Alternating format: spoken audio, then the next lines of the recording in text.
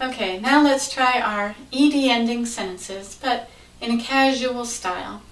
As I mentioned before, these sentences, many of these sentences, use the present perfect tense, as in have achieved or have enhanced.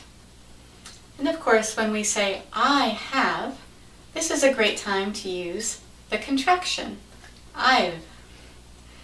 And we'll also notice a few other places where have or has can get attached to a different word, not a pronoun like I. And then we can just drop that H, as we've seen before. Let's give this a try. Repeat. I've achieved success in my career. I've enhanced the productivity of my company. I'm fortunate to have experienced international business.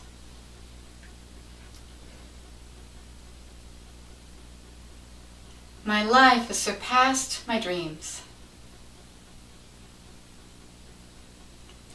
I've weathered economic ups and downs.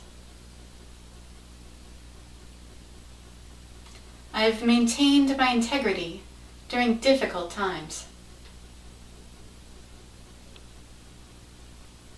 I've valued the contributions of my colleagues. At times, I've saved the day. I've contributed to my work teams. Every day, I've supported my family. I've accepted the challenges of language learning. I've succeeded in my English goals.